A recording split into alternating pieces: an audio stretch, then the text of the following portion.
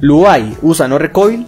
Pues sí, y te lo explico en lo que queda del minuto. Hace unos días hizo viral un clip de Luai donde claramente usa no recoil, pero él dijo en su defensa que sabía controlar muy bien los tiempos de disparo, algo que es totalmente falso, porque si hubiera controlado los tiempos de disparo no se le hubiera abierto la mira de esa manera. Los tiempos de disparo básicamente es disparar igual que la FAMAS, es decir, soltando el botón de disparo varias veces y volviéndolo a presionar, esto de una manera muy rápida, para que la mira no se abra y por lo tanto las balas no se dispersen. Si Luai realmente hubiera controlado los tiempos de disparo, la mira nunca se hubiera abierto de esa manera. Y otra cosa, el juego está programado para que en cuanto se te abra la mira, las balas se te dispersen.